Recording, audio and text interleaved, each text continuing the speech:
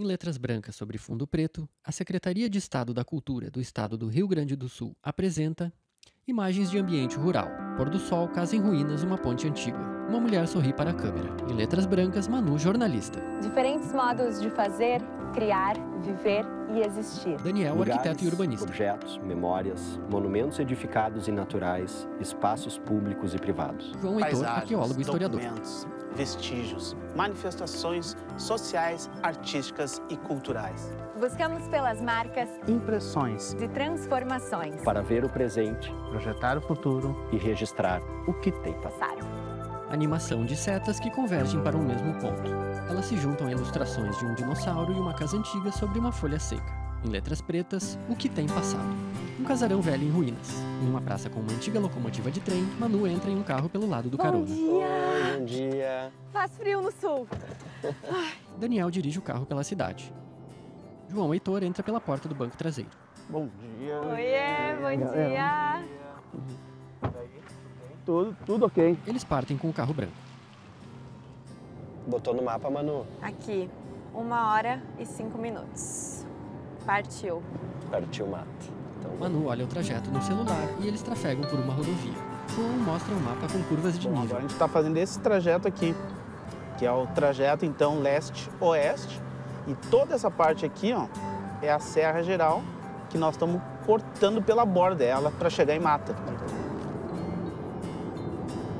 João, e aqui já é o Pampa, né? Sim, é, Manu. Agora já é pampa, né? Pode ver que o rebordo da Serra Geral ficou lá para trás, ó. Tá bem longe. E agora é tudo pampa aqui. E eu li que 63% do Rio Grande do Sul é Pampa, porque eu achava que era aqui do, da região central para o sul. E pega a região norte, noroeste, Passo Fundo, Erechim, poxa. Cruz Alta, Vai Santa tão pra Rosa. cima, assim. Vai para cima porque não é homogêneo, né? Então ele difere nas regiões, mas pega em várias partes do Rio Grande do Sul. Animação de um mapa com o trajeto sendo tracejado de Santa Maria até Mata. Manu fala para a câmera ao lado de uma réplica de um dinossauro em um pórtico de entrada. Mata faz parte do chamado Caminho das Origens e não é à toa esse nome. Aqui é possível fazer uma viagem de 200 milhões de anos. É um lugar-chave para compreender a evolução da sociedade no Rio Grande do Sul e a história do mundo como um todo. O município faz parte dos sítios paleobotânicos do Arenito Mata e integra a Rota Paleontológica do Brasil. Fósseis vegetais e répteis primitivos como dinossauros, viveram aqui, nessa região. É conhecida como a Cidade da Madeira que virou pedra. Fica a 88 quilômetros de Santa Maria e 370 da capital, Porto Alegre. Imagem aérea da pequena cidade, com casas térreas, montanhas baixas à esquerda e planície à direita. No carro, João, e como que eles, como que vocês conseguem descobrir os fósseis? Como que é o início da descoberta, assim? João. Na verdade, aqui na, na- na nossa região, a descoberta ela veio por um acaso, que foi a construção dessa BR, que vem desde Santa Cruz e vai chegar lá na fronteira. E eles entraram então nessa formação aqui, que é a formação Santa Maria, desde Agudo, e começaram a encontrar nas margens da estrada mesmo, durante o processo de implantação do asfalto, começaram a encontrar vestígios e esses vestígios foram sendo identificados como fósseis de seres vivos, né, animais, muitos animais que hoje nós conhecemos como dinossauros e a madeira petrificada. Então não é só um, vamos dizer, um privilégio de mata, né? Toda a região é muito rica. Placa de trânsito, caminho das origens, mata 13 quilômetros, turismo paleontológico. E eram desses tamanhos mesmo, João? É, essa é a nossa piada aqui da região, né?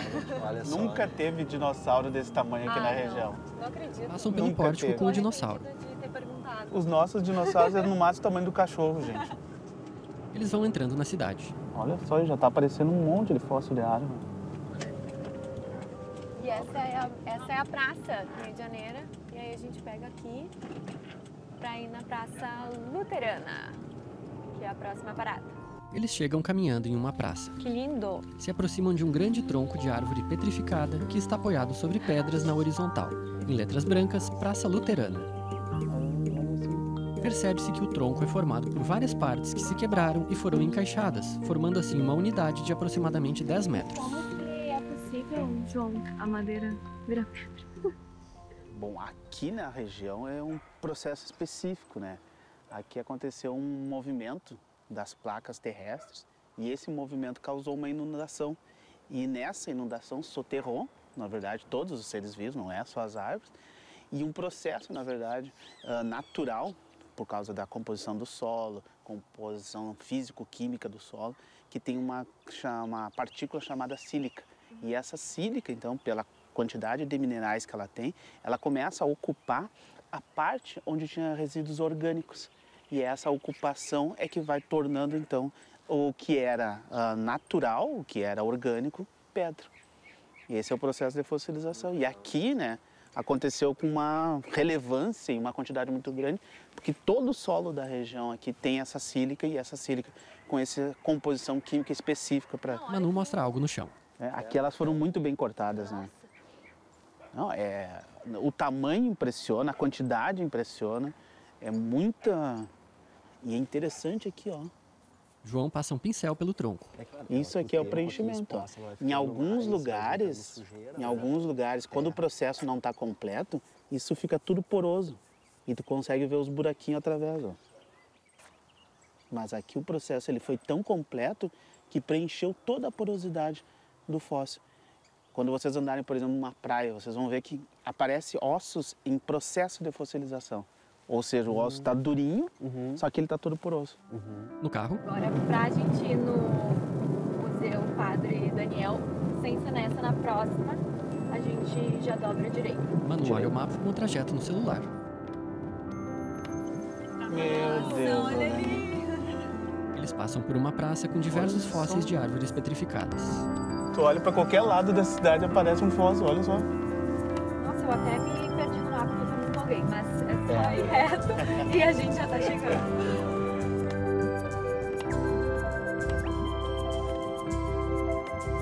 Eles chegam em um prédio com um mosaico de fósseis petrificados na fachada. Em letras brancas, Museu Padre Daniel Carninho. Ó. Manu bate na porta e uma mulher abre. Oi. Bom dia. Eles entram no museu com exposição de diversos tipos de fósseis. Olha isso aqui, tu viu? Daniel mostra algo. João. Aqui a gente tem um dos maiores acervos paleontológicos do Brasil, né? São quase 2.500 peças. Eu imagino que a gente vai ver a coleção mais significativa do estado, com certeza. Nossa, mas esse aqui era grande. Não, olha aquele ali.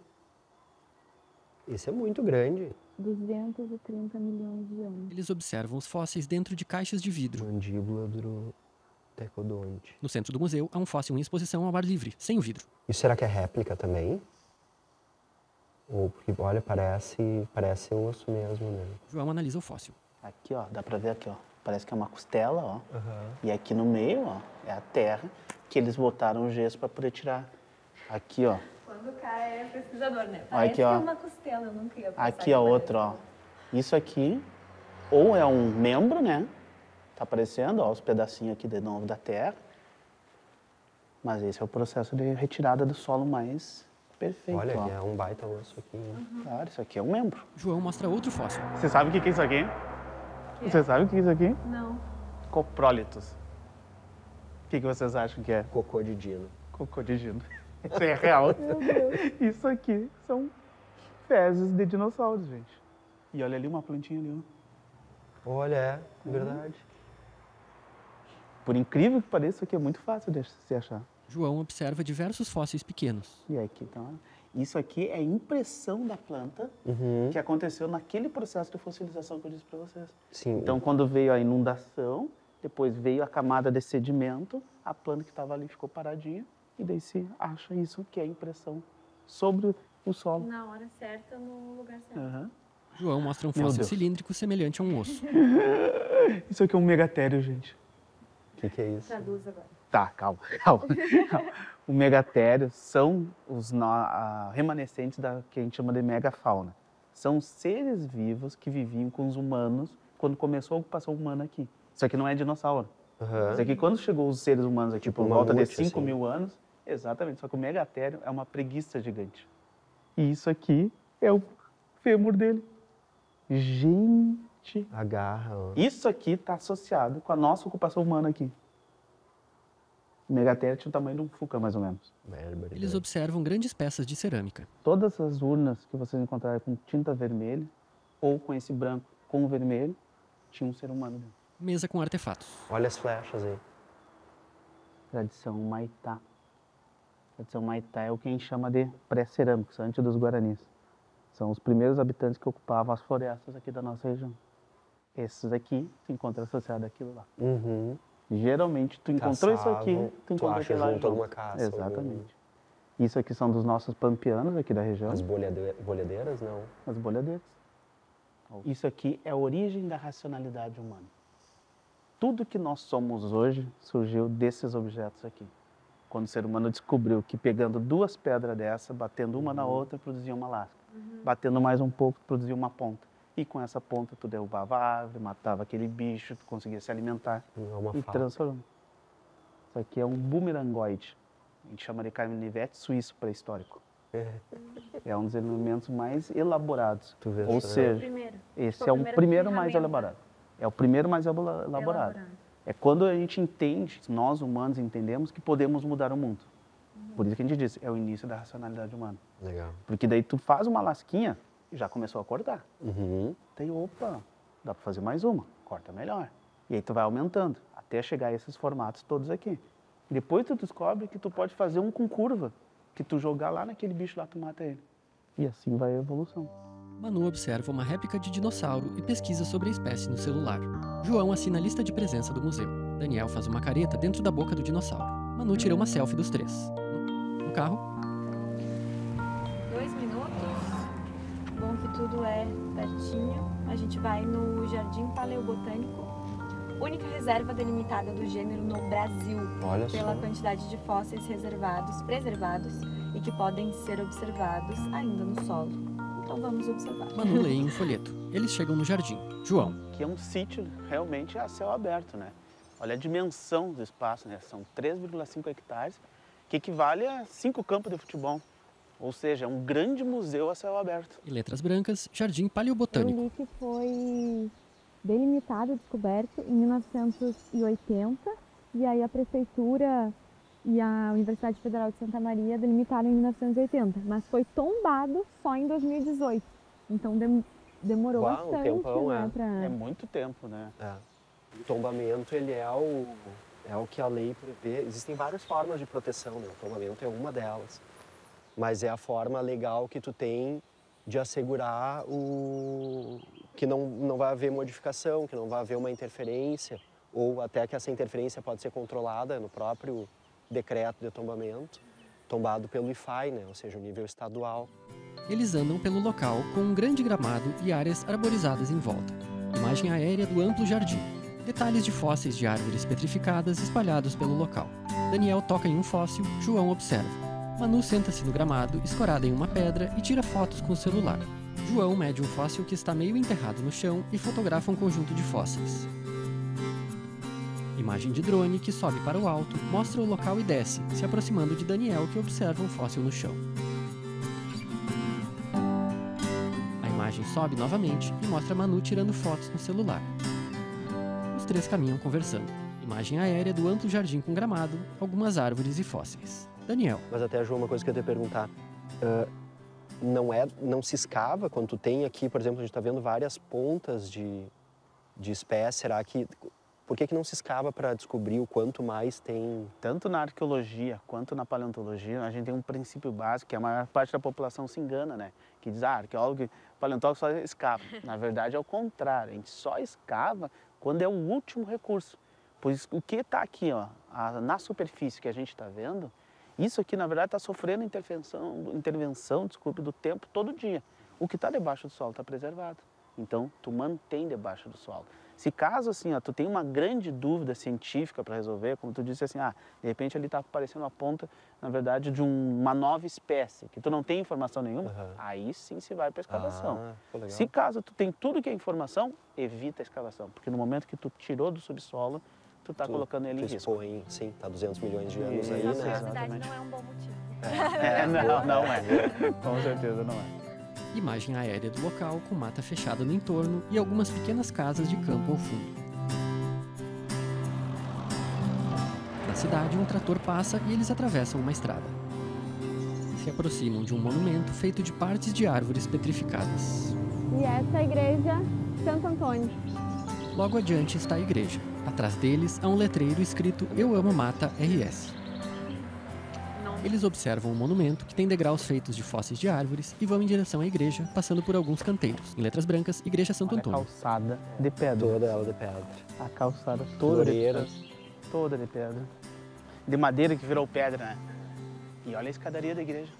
Bom, a cidade de Mata, né, como todas as outras cidades aqui da região, ela tem uma ocupação que precede aos indígenas, né? Os primeiros grupos humanos que ocuparam aqui, que é as tradições Umbu e Humaitá, tem datação de mais de 10 mil anos, para depois chegar ao que nós conhecemos como os índios tradicionais do TAP, que eram os que tinham aqui. E no final do século XIX é que teve uma ocupação, a vinda dos, primeiro dos alemães, né? E aí depois, na década de 20, é que chegaram os italianos para a colonização, já na segunda leva da colonização italiana. Torre da igreja, em tom cinza e branco, com mata fechada ao fundo. Em outro local, eles sobem uma grande escadaria de pedra que leva até um santuário. Em letras brancas, gruta Nossa Senhora de Lourdes. Eles observam a imagem de Maria. Ao fundo, uma parede formada de fósseis de árvores. No carro, eles andam por uma área rural com estrada de chão. Passam por uma encruzilhada e dobram à esquerda. Chegam em um local com um pórtico azul com trepadeiras. Passam pelo pórtico, trafegam por um caminho com calçamento e estacionam o carro. Em letras brancas, Museu Fragmentos do Templo. Eles são recebidos por um homem de barba grande e branca e um roupão religioso preto. Sejam bem-vindos. Olá, Como vai? é um prazer, Prazer é Manu. meu. Heron, Prazer, como é que vai? Tudo bem? Não foi tu que entrou em contato comigo outro dia? Como é que bom. vai? Prazer, Daniel. Heron. Sejam bem-vindos ao Museu Fragmentos do Tempo. O local é uma propriedade rural preservada e muito bem cuidada. Uma casa antiga com cachorros na frente, uma manivela acima de um poço de água, uma escultura de uma mulher em pedra branca, um jardim com árvores e gramado, uma capela com tijolos à vista e uma cruz. Em letras brancas, Heron Hesbert. Pela parte da minha mãe, a gente está aqui nessa região desde 1780, quando meu pentavô, seu Joaquim José de Araújo, era natural de Curitiba, se apaixona por uma negra em plena escravidão, problema sério. Para ele poder casar com a Maria Leite, teve que roubar ela. E veio para um lugarzinho uns 18 quilômetros daqui. Eu sou a sétima geração deste casal. E pelo lado do pai, meu bisavô veio para cá, que é o lado alemão, em 1903. Convido vocês para visitar o museu para darem uma olhada, o que é que nós temos ali. Heron, deixa eu te perguntar, a gente gostou muito do nome, a gente estava comentando no carro, dos Fragmentos do Tempo. Se tu tivesse que definir assim em uma frase, o que, que a pessoa que vem até aqui vai encontrar, o que, que tu diria? Fragmentos da história de família. Eles andam pelo local. Heron leva um terço nas mãos. Manu fala para a câmera. O Museu Fragmentos do Tempo traz memórias de diferentes formas, desde uma coleção ímpar de porcelanas até a história do francês Auguste Saint-Hilaire, um viajante naturalista que esteve no Brasil entre 1816 e 1822. Ele foi um dos primeiros cientistas a estudar as paisagens regionais e catalogou em torno de 30 mil espécies, entre elas a nossa erva mate. Na época, o Saint-Hilaire se hospedou na casa do pentavô do Heron e entrevistou a Josefa, então escravizada pela família, transformando os relatos dela nesse diário. Foi somente em 2015 que o Heron teve acesso a esse material e por isso hoje a história pode ser ressignificada. Eles se aproximam da casa antiga. Recanto de Mariana. Bom, esse casarão foi construído em 1926 a 4 quilômetros nessa direção aqui, bem no pé do morro. Placa escrito Recanto Há de Mariana. 5, 6 anos atrás, ela foi doada para o museu. Eu tive que numerar pedra por pedra, fotografar, desmontar e remontar ela aqui. 450 pedras, né? Foi um trabalho exaustivo, três anos para mim terminar o casarão, para homenagear a Mariana, que eu acho que eu sei muito pouco sobre ela, né? Mas deveria ter alguma dívida espiritual, que espero ter pago carregando pedra, Olha, pelo menos. Com certeza. por mais algumas encarnações. Daniel. Tem um, tem um poema do Mário Quintana que eu gosto muito, que ele, em determinada passagem, ele fala: Eu não gosto da arquitetura nova porque a arquitetura nova não tem fantasmas. Ah, Ou seja, não, não traz toda essa emoção, né? Não traz toda Essa essa, essa história que está gravada em cada uma das pedras que tu carregou por 4 quilômetros e montou de novo aqui. É muito legal a casa. Eles andam pelo jardim. Entram em uma casa com diversas ferramentas e máquinas antigas em exposição. Aqui, pessoal, o maquinário que sobrou dessa indústria da zona rural do começo do século XX, do meu bisavô, então no Coronel Cristiano. O lavador da raiz da- da mandioca, quando vinha suja da lavoura, lavavam aqui, ralavam nessa peça e prensavam nessa outra aí, que era um dos serviços do meu pai, prensar aqui, porque quanto mais seca da, saísse daqui, menos tempo ia ficar no forno para secar. Heron tem que te perguntar, né? Que o arqueólogo aqui não vai poder se aguentar. E conta pra nós o que, que é isso aqui. Isso aí são garrafas que vinham com bebida, com vinho, vinham com até acho que cerveja, alguma coisa, e geralmente vinham da Europa, né? Europa, da Espanha especificamente, a partir Aham. do século XVI. Garrafas de cerâmica. Isso. Isso aqui é a prova da colonização espanhola na nossa região. Aham. Aqui na Algumas nossa foram- região, ela vem até o início do século XX. É? É a famosa grecerâmica. Ah, Quando se aí. encontra essas aí, pode saber que algum espanhol andou por aqui. Andou por aí. Pela quantidade, não foram poucos. Porque vinha a bebiam, e cerveja específica. Aham. Essa maior aqui provavelmente é de azeite. Essas outras aqui são bebidas. Garrafões de vidro de diversos tamanhos. Uma caixa antiga da cervejaria Brahma. Detalhe da fachada lateral da capela com galhos de uma trepadeira seca. Daniel acaricia dois cães. João anda pelo local. Daniel observa uma pequena construção. Sabe o que é isso aqui? Manu mostra uma pequena mureta antiga com uma placa. Um jardim, que é uma homenagem a quem foi escravizado na época. E tem os nomes. Ah, é. Eles se aproximam do local. Como é que é, Manu? um monumento em homenagem aos escravos da família. Conseguimos resgatar o nome de cada um, o valor, a idade, alguns a profissão. Alguns se eram crioulos, nascidos no Brasil, ou de nação vindos da África, né? E a Josefa, a número 3, foi a que foi entrevistada pelo Saint-Hilaire. Ela era paulista, natural de Curitiba, que ainda pertencia a São Paulo naquela época, né? Eles observam as placas com os A nomes. pedra não foi feita apontando para o leste, não foi pensada nisso, mas um amigo meu que é espírita, por que tu apontou para o leste? Eu digo, não sei. Foi o que deu para mim fazer. Só que o leste é onde nasce o sol todos os dias. Cada dia podemos recomeçar uma história nova da família, com menos erros, se possível, né? Então sempre há um recomeço de uma família, né, para não cometer as mesmas aberrações que foram feitas no passado, né, de escravizar pessoas. Uma placa branca com desenhos de flores e em letras pretas escritas à mão Jardim Perpétuo. Abaixo um pequeno poema, conjunto dos monumentos aos escravizados. O sol se põe atrás de uma montanha. No carro, eles trafegam por uma estrada rural. João, Outra atividade legal que dá para fazer aqui é a trilha das gravuras rupestres. Pena que essa época do ano, por causa da umidade, por causa do frio, né, as pinturas na parede não ficam muito nítidas. Mas no verão deve ser muito legal de viver aqui. paisagem rural do ponto de vista do carro em movimento. Eles chegam em uma ponte ferroviária. A câmera mostra os três caminhando sobre os trilhos, se aproximando da ponte de concreto. Daniel, nome dessa ponte é Vila Clara. né? E uma coisa muito legal, curiosidade dessa aqui, que não é comum tu encontrar uma ponte desse porte, são 146 metros de vão livre. Foi por muito tempo considerado o maior vão da América Latina. Nossa É, é excepcionalmente grande, 146 metros. E, e outra coisa interessante é encontrar todo em concreto. né? Se usava muito aço para construir esse tipo de estrutura, que era, né, vinha pré-moldado, fabricado já em, em peças prontas. Então, tu encontrar um- uma estrutura dessas que teve que ser moldada em loco, né? Tem todo um, um trabalho de engenharia para e, e- de demora para conseguir construir em concreto é, é surpreendente. E uma outra coisa engraçada é que tem uma, uma dúvida quanto à construção dela.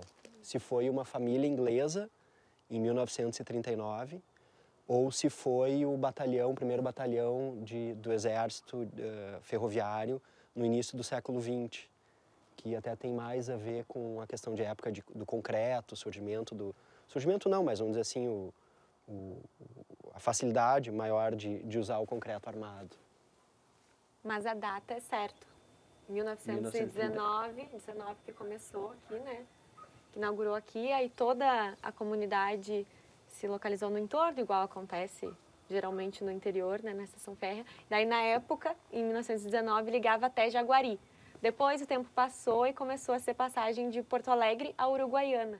Bem o, a origem de muitas cidades, né? Desenvolvimento a partir da ferrovia, como a gente vai ver isso lá em Santa Maria. Detalhes construtivos e imagem aérea da ponte sobre um rio de médio porte. Imagem do leito do rio com vegetação nas margens. A estrada que segue a balsa aqui margeia também o rio Toropi, que dá origem à cidade de Toropi, riquíssima, na verdade, em balneários, balneários muito lindos, às margens do rio, e que também faz limite com a cidade de São Martinho da Serra, nosso próximo episódio. João faz sinal de positivo para a câmera. Os três ficam sentados sobre os trilhos no meio da ponte, observando a paisagem com o rio, vegetação, montanhas ao fundo e o céu nublado.